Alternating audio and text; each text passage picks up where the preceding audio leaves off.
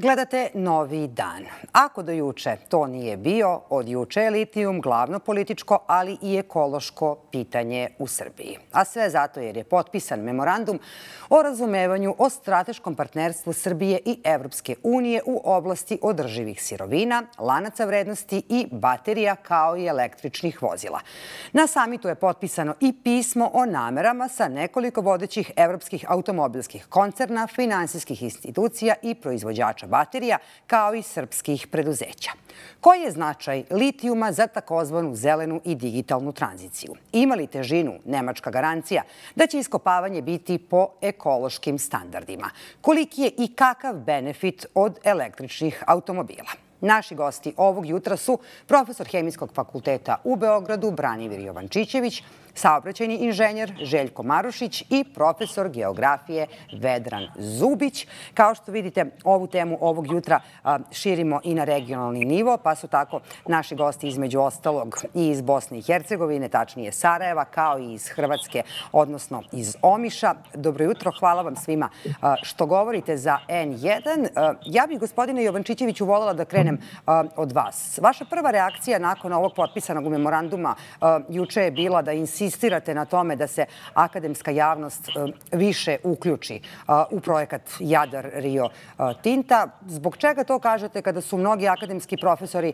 stavili svoj potpis na studiju koja garantuje na neki način, makar na papiru, da će ovaj rudnik biti ekološki bezbedan? Pre svega, dobro jutro ili dobar dan vama i vašim gostima i cijenjenim gledalcima.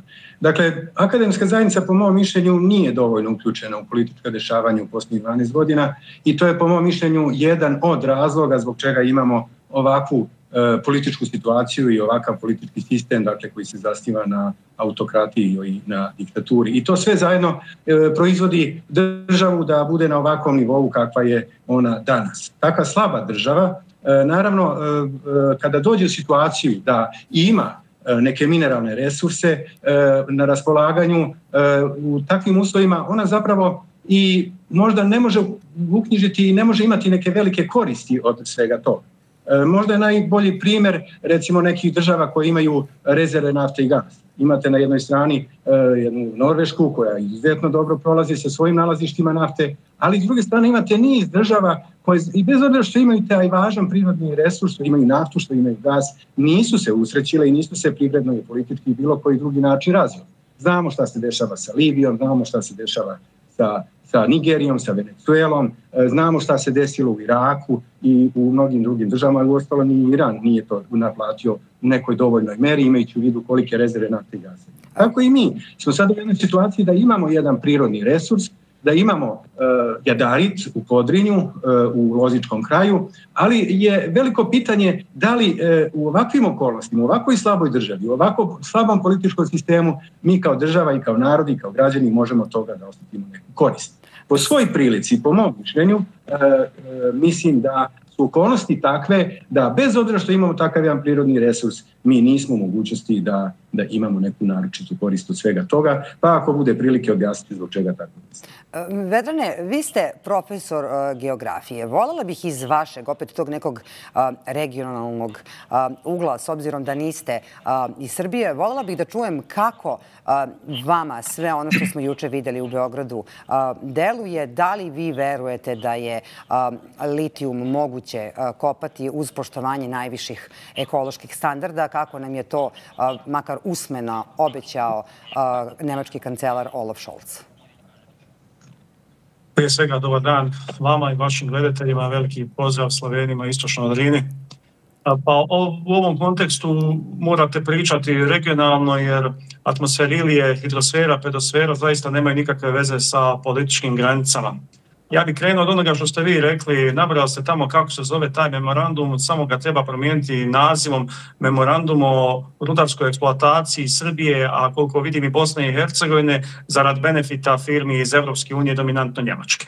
Dakle, ono što trenutno vidimo i ono što je trenutno na snazi nije nešto što nije zabilježeno ranije u kolonijalnim i neokolonijalnim državama, prije svega recimo afričkog prostora.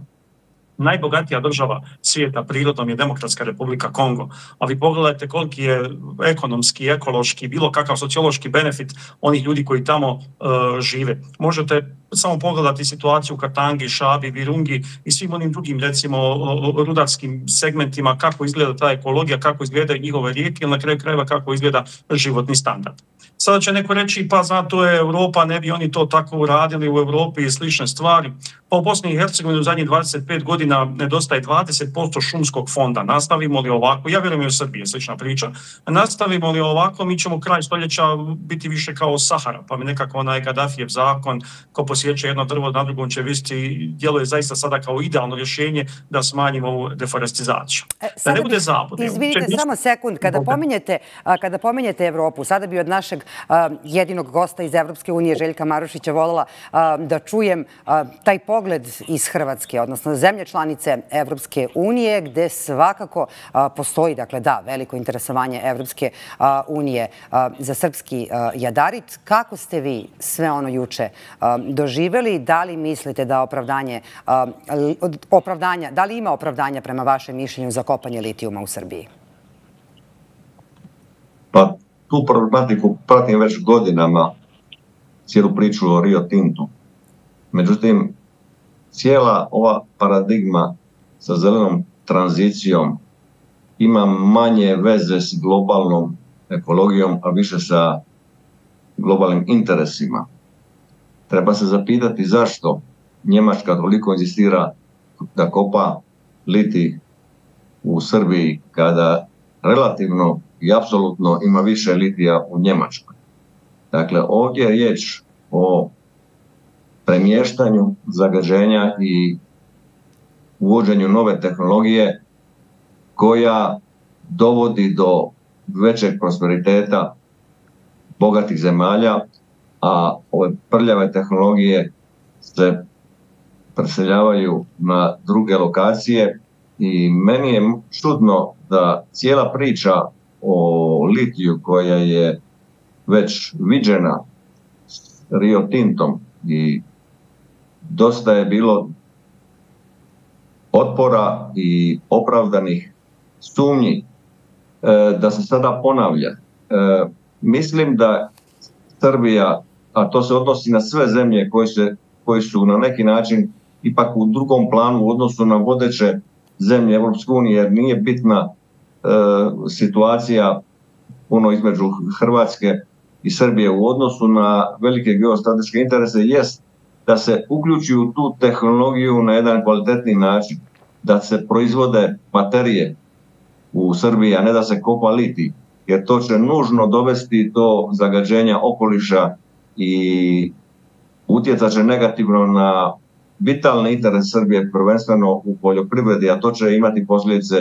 i na zemlji u regiji jer nama treba zdrava hrana, dakle u turizmu primjerice treba napraviti iskorak ka kvalitetnijoj ponudi koja se temelji na zdravoj hrani, na okolišu i ne znam zbog čega, odnosno mogu i shvatiti e, tu postoji i pozadina. Dakle, ovo je samo dio priče Njemačka je u posebnoj situaciji je zbog rata u Ukrajini ostale bez vitalnih e, energetskih resursa iz Rusije. To se prvenstveno odnosi na, na, na plin, a tranzicija na električnu energiju e, radi se na način da sve ono što zagađuje se prebacuje na manje bogate razvijene zemlje, a ona čista tehnologija će se držati u Njemačkoj. Ponavljam, treba se zaspitati po čega unija to ne kopa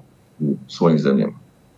Da, gospodine profesore Jovančićeviću, sada pitanje za vas. Te nemačke garancije gde je Srbija navodno najnaprednija, to smo čuli od potpredsjednika Evropske komisije, najviše standarde je dostigla, odnosno najviše je napredovala ka iskopavanju litijuma. Čuli smo i koje vrste će to biti rudnik. Čuli smo i koliko je jadarit kvalitetniji u odnosu na rudu koja bi se vadila u nekoj drugoj našoj zemlji. Da li taj donekle zatvoreni ciklus na kome predsjednik Srbije Aleksandar Vučić insistira, odnosno te baterije made in Serbia, kako je on rekao da će na svakoj od tih baterija pisati, možda govore u prilog tome da bi trebalo pokrenuti raspravu akademsku o kojoj ste govorili, ali ipak ne nužno biti protiv ovog rudnika. Jadarit je mineral koji je zapravo stvarno jedna dobra sirovina za dobijanje litijum karbonata kao finalnog proizvoda.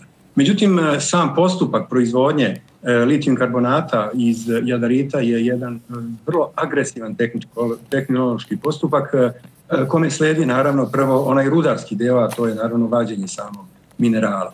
U svim svojim fazama to je veliki rizik za životnu sredinu. I naravno vađenje minerala, bez obzira da li se radi o površinskim ili podzemnim kopovima, zatim sam proces proizvodnje koji podrazumeva upotrebu velike količine sumporne kiseline da biste litijum izveo kao light litijum sulfat, a zatim preveo litijum karbonat i konačno možda i najopasniji ideja u celom ovom procesu kada je u pitanju životna sredina i udar na životnu sredinu jeste deponovanje velike količine ostatka koje se naziva jalovina. Bez obzira što dobijamo garancije i od kompanije Rio Tinto i od evropskih zvaničnika da će biti poštovani svi najviši evropski standardi kada je u pitanju zaštita životne sredine, mi nažalost ne možemo da verujemo u to. Prvo, ne možemo da verujemo i to iz prostog razloga što nam ta obećanja daje naš predsjednik Aleksandar Vučić koji je toliko obećanja u svom životu dao, a nije ispunio.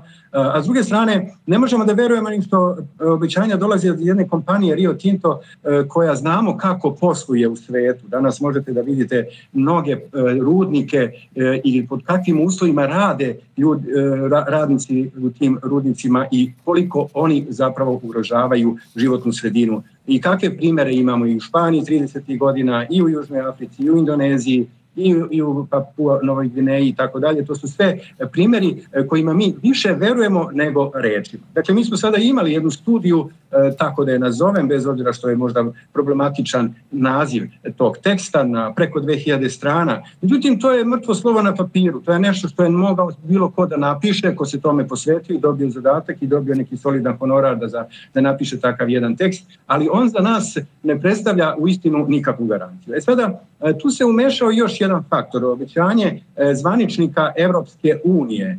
Međutim, ja moram da kažem, bez obzira što sam neko koji je po svom opredeljenju, ako možda se kaže germanofil, Nemačka gleda svoj interes. Ona želi naravno da prođe u cijeloj ovoj situaciji što je mogućno bolje i naravno da će tu prljavu tehnologiju da izmesti iz svoje zemlje i nije u pitanju samo rudarenje, nisu u pitanju samo sirovine, u pitanju je sve drugo. Vi znate da ona iz svoje teritorije izmešta sve prljave tehnologije u druge države. Tako će pokušati da uradi i u Srbiji, a mi tome treba da se suprostavimo. I sada dolazimo do one ključne stvari. Kolika je, koliki je naš kapacitet i kolika je naša snaga da se suprostavimo pre svega našim pregovaračima koji su sve ovo loše ispregovarali, a to je naravno naša vlast. I u tom smislu sam ja govorio o ulozi akademske zajednice, jer po mom mišljenju ona je jedan od glavnih krivaca što mi imamo autokratiju 12 godina, bez obzira što u Srbiji danas imamo 12.000 ili 13.000 naučnika istraživača, dakle to je jedan velik kapacitet koji ako bi se malo politički angažovo i malo se uključio društvena kretanja, svakako ne bismo imali situaciju u Srbiji dan, ovakvu kakvu danas imamo. Ne, e, moje kolege su na neki način e, udomljene, e, imamo za prilike kakve imamo u Srbiji pristojne plate, nisu one na nivou recimo ne Slovenije ili Hrvatske pa čak i Crne Gore, ali imajući u vidu okolnosti pod kojima živimo možda i nisu toliko loše, imamo nekakve naučne projekte koje ministarstvo finansira, mi smo se uljuljkali u svemu tome i zaboravili na ono što je mnogo važnije od svega toga, a to je interes države Srbije u ovom trenutku, ne samo interes države Srbije, nego opstanak države Srbije. Mi, mi imamo sada veliku životnu raskrstu, veliku istorijsku raskrstu, kada treba da se opredelimo da li idemo ka parlamentarnoj demokratiji, da li nastavljamo tim putem ili se e, oslanjamo i vraćamo e, prošlosti i okrećemo se sistemima kakvi danas postoji u Rusiji. Da, za sada se čini da nam je to nam još to nam još s obzirom da je predsjednik Srbije Aleksandar Vučić sinoć rekao da neće biti vanrednih izbora makar naredne tri godine. Vedrane, voljela bih sad vas da pitam. Mnogo se juče govorilo o ekologiji, o zaštiti životne sredine. To naravno ide ide uz ovu priču. Pa evo, jedan citat predsjednika Srbije Aleksandra Vučića jeste da će se on boriti lično za životnu sredinu i za život našeg naroda u Jadru i Rađevini, za to da im zemlja, vazduh ostanu čisti. Kao neko ko poznaje i zemlju i vazduh, pratite dešavanja u vezi sa ovim projektom, da li možete da poverujete u tako nešto, da će to ipak biti tehnologije koje da, rudnik zagađuje, ali koje mogu tim ljudima da omoguće da žive tamo gde žive već decenijama? A fascinantne su te izjave, zaista, ovaj, mene posjeća to na izbar za mis, vjerovatno i za mir u svijetu, ne znam. E, nevjerovatno je što je čovjek izjavio pitanje da ga ispitamo osnovne definijendume, da, da li bi znao o čemu se radi. U svakom slučaju, naravno da će reći da, da će sve to biti čisto i bit će u redu i bit će ok. Evo ja ću malo prijeći plinu, ovaj, doći s ove strane. U Banja Luci je e, Skupština Republike Srpske prije nekoliko dana usvojila zakon po kojim se lokalne samouprave više ne pitaju za izgradnju nekih i za rudarenje nekih elemenata i za izgradnju nekih eto tako tehnoloških postrojenja. Dakle, vi se u Loparama, Foči, Miljevini ne možete buniti ako vam se nešto postavi, samo tu osvane vam tu, nego je to odlučuje neka centralistička vlast, ovako ću reći u Banja Luci, koja će se vjerovatno dogovoriti u Sarajevu, ovaj, pošto je kod nas malo specifičan uh, upravni sistem. Ne mogu da vjerujem, uh, zato što svi podaci koje mi imamo sa terena iz ostalih država nisu takvi. Ali, evo još jednom ponoviti, ako Njemačka i Francuska u zoni od Frankfurta u centralnom dijelu poranja, dakle u Mittelgebirge, Birgeu, u zoni koja je također nastala u Paleozoiku kada je ovaj dio, ovaj evo sad jedan geografski jel, izraz, geološki, i kada je nastao i ovaj dio Bosne i Hercegovine, recimo Pračanski paleozoik, Drinski paleozoik i preko Drine, jeli, političke granice s geologijom nemaju veze, imaju mnogo, mnogo veće količine litijuma. Oni su 2021. pokušali kao nešto, počelo se nešto ovaj, kao praviti to tamo u istočnom dijelu Njemačke na granici sa Poljskom, no međutim, zašto ne bi izmislili neke svoje prve tehnologije tamo gdje uh, je to njima bolje, odnosno gdje neće da zagađuje uh, svoju okolinu. Dakle, imate nekoliko problema. Imate evo čovjeka, profesora hemije, koji zna da uh, ovaj, nek vam objašnjava non stop kakav je to liti alkalni metal. Za, zašto je on i zapaljiv, zašto je ta sulfatna kiselina koja je izuzetno korozivna, gdje će se izbacivati te otpadne materije, odnosno sav taj balas koji se nastane. A kako se odnose stranci prema nama, ovoj neokolonijalnom elementu Zapadnog Balkana. Evo ja ću vam reći, prije nekoliko dana u rijeku Bosnu je ispušten železovita železoviti otpad, jeli RMK uh, koji je pocrvenio rijeku Bosnu, a Jablaničko jezero je prije nekoliko dana doživjelo eutrofikaciju algi crvene boje, jeli pa je fosfor se vezao za kisik, uništio floru i faunu tog prostora. Niti je ko priveden, niti je ko odgovarao, niti ima ikakve veze sa ekologijom, a eto i naši zvaničnici, kao i spomenuti gospodin Vučić, su obećavali da će se prije svega uh, baviti oni ekologijom. Mene samo zanima uh, kasno je, ko će biti odgovoran. Pazite, gornji i srednje podrinje Yeah. I, i sa bosansko-hercegovačke i sa uh, srbijanske strane su. Poljoprivredni prostori, stoljetni poljoprivredni prostori, gdje se ljudi bave uh, agrarom i stočarstvom, znate, pa možete li zamisliti zagad tijelo, evo priču sa srbijanske strane, jednu mačvu u pedosferi, u atmosferi, u hidrosferi. Za tonu litijuma potrebno je 15 miliona litara vode. Dakle, to je nevjerovatno da, da, da, da takvi podaci nisu uopšte dostupni, da se ne govori o tome, nego je to što mi sa Reli rekli, evo neće majke mi zagaditi, ovaj, nemojte se ništa sekirati, da, ili verujte, onaj stari vica da delista, verujte nam na reč. Kaže, kaže, ovo nije radioaktivno, ono je malo radioaktivno. E pa mi sa Reli kažemo, ne možemo biti malo trudni. Dakle, jednom kada vi zagadite neki prostor, kako ćete ga dekontaminirati, a kakav je uticaj Evrope, je evo odnos sa Ma rat u Ukrajini je počeo onog trenutka kada je Shell 2013. dobio mogućnost da iskopava nalazišta nafte u Azovu. Rat u Gazi je počeo onog trenutka kada je Izrael dao nekim firmama iskopavanje plina i gasa u priobalnom dijelu Gaze.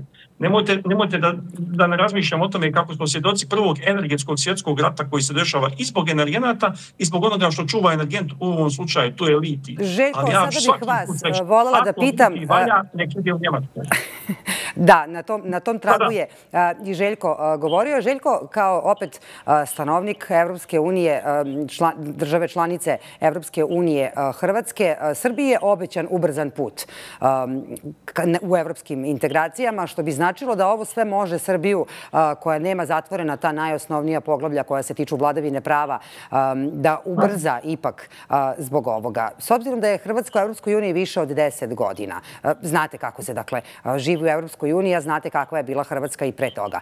Da li mislite da je ovo za građane Srbije previsoka cena? To će biti visoka cijena i najprije treba e, sve vezano za zelen e, tranzicije dovesti u pitanje jer nove tehnologije, električna vozila u globalu ne zagađuju manje okoliš nego zagađuju više okoliš. I ovdje se samo radi o premještanju zagađenja. I ovo je, nažalost, energetska priča koja je povezana s politikom i to je cijena koju Srbija treba ili će trebati platiti da uđe u Europsku uniju. Hrvatska je, ja kao građani mogu reći, dobila dosta stvari, ali i izgubila nama su prelaskom na euro cijene drastično porasle, desilo se ono što su ljudi govorili, mnogi sada i žive lošije. Dakle, Srbija treba voditi računa o vlastitim interesima i loše je ako jednu politiku koja očito ima pozadinu u ne ekološkim stvarima, a to je geostrategija, dakle ulazak Srbije u Europsku uniju, e, plati dugo, e, dugoročnim uništenjem okoliša. Trebate znati kad se okoliš jedan put zagadi, da je onda tu priča gotova, Srbija će izgubiti E, svoje bitne adute u proizvodnji zdrave hrane i to je put kojim bi trebalo ići na europsko tržište jer cijene su takve hrane višestruko veće nego kad je u pitanju ova konfekcijska hrana, a kad su pitanju kad su u pitanju te nove tehnologije, one s jedne strane donose prednosti, ali u pravilu to je pitanje, e, pitanje premještanja zagađenja. Međutim, što može Srbija napraviti kada Njemačka koja je sada tu na neki način e, poluga svih ovih kretanja također nije e, neovisna. Njemačka je izgubila svoje vitalne resurse zatvaranjem i uništenjem Sjevernog toka 1 i Sjevernog toka 2. Zatvorili su e, prerano po meni e, nuklearne centrale i sad idu tranziciju tu zelenu gdje na jednoj strani dobivaju, a na drugoj strani gube. Dakle, sve zelene tehnologije s jedne strane su ekološki čiste, a s druge strane zagađuju okoliš. Hvala vam puno na ovom razgovoru. Bio je ovo, između ostalog, pogled na srpski litijum iz regiona. A ostanite uz novi dan, nastavljamo emisiju veoma brzo.